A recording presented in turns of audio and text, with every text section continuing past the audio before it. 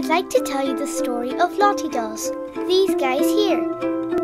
How they've grown to be an award winning, world beating doll that's even gone to outer space. There are big plans for a Lottie cartoon, but let's start at the start. This is Ian. He grew up to travel the world working as an accountant before he realised he would much rather make toys. His very first job, though, was working in the family hotel. Wow, imagine your grandparents owned a hotel. If that wasn't cool enough, Ian's other granny owned a toy shop in the little village of Moville. A love of toys and dolls must be in the blood. Ian followed in his granny's footsteps with his own toy company and moved back home to make Lottie dolls in Letterkenny. Today there are over 20 people working here and look at how many different Lottie dolls they make. Over a million dolls have been sold worldwide, and a huge online community has grown around Lottie too. Lottie Dolls and the Lottie cartoon are based on lots of research into positive messages for kids and into what matters to our generation.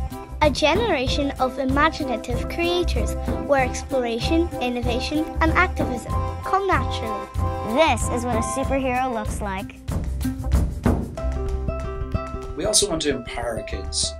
We want them to let their voices be heard.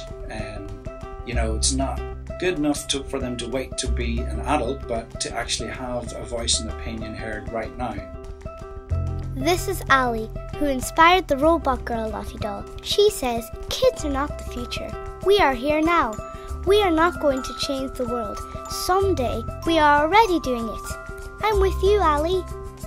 Meet Taylor Richardson. She's training to be an astronaut with NASA in America, and there's a Lottie doll based on her. She is an incredible, inspirational young lady doing charitable work around the world.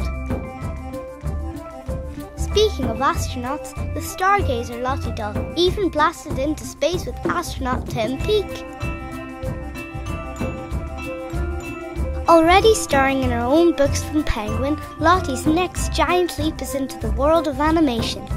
Ian has teamed up with Dog Ears to make the cartoon. Club Lottie, it's going to be epic. I'm proud of this lovely story and of the people behind these dolls who are doing such super work. This story is a happy one, a story of big risks, of creativity, and a belief in ideas and possibilities. This story embodies Lottie's motto Be bold, be brave, be you.